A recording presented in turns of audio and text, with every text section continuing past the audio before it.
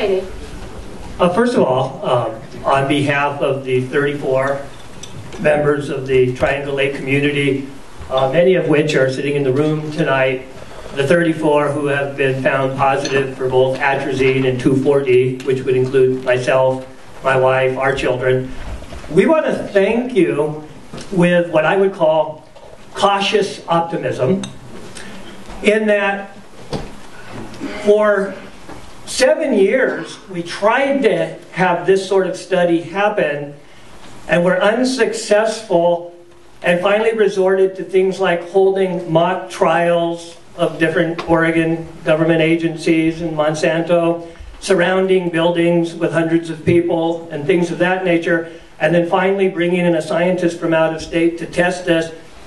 They find urine in us of the two most dangerous timber industry pesticides that gets trumpeted in the media, and then all of a sudden, the state agencies that wouldn't give us time of day for seven years are here, and we do meet that with cautious optimism.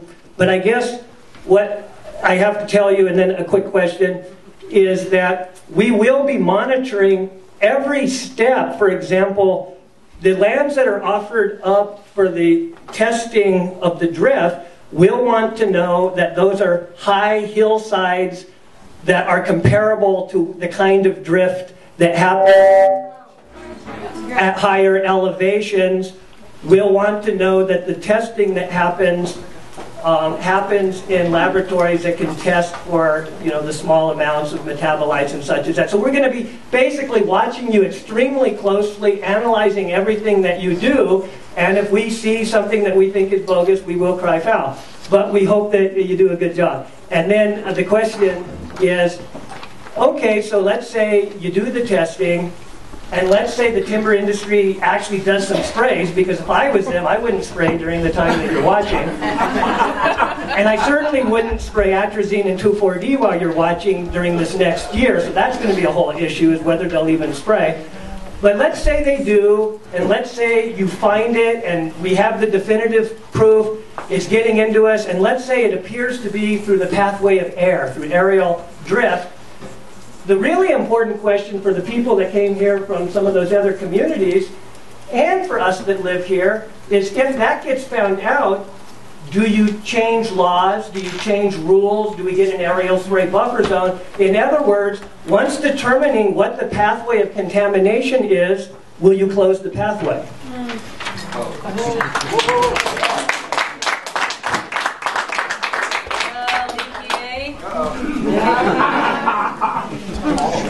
Well, I'll, I'll talk about one part of it, and I think Department of Forestry could talk about another. So yeah, uh, there was a question earlier about if we find a problem here, what does that mean for a very similar uh, setting, community somewhere else where the same practices, same application methods are being used.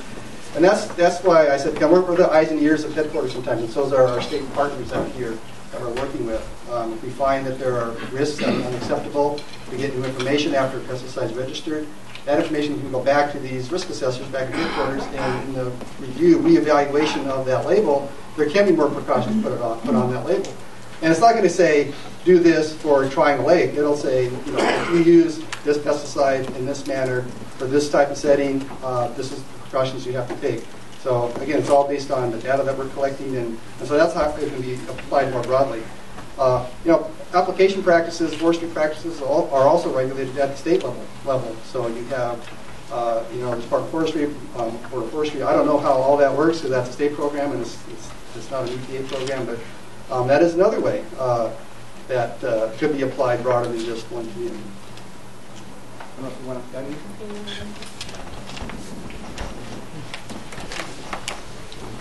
Uh, thank you. Yeah, the uh, Board of Forestry regulates pesticide use, and depending on the outcome of that, there's a process that anybody can come and say that our rules are not effective or efficient for accomplishing what they're intending to do.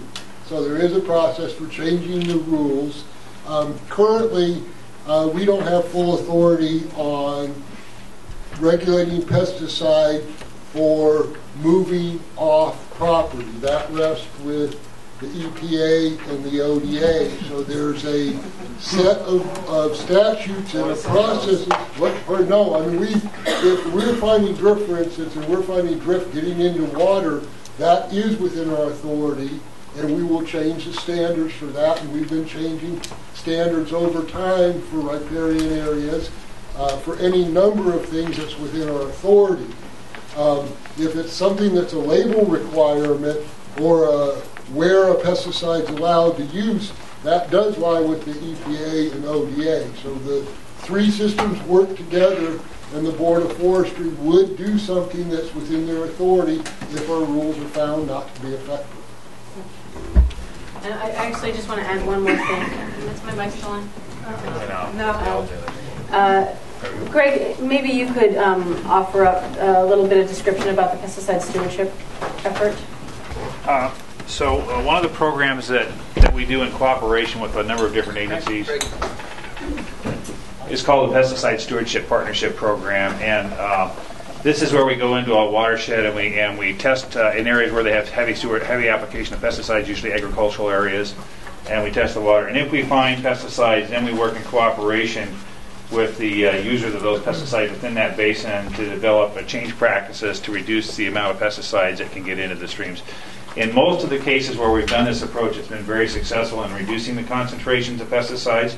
In most all cases, we still detect pesticides in the streams, but at lower concentrations. And in many cases, the concentrations have dropped down below the level where they're no longer exceeding water quality criteria. In those few cases where they did exceed water quality criteria. Okay.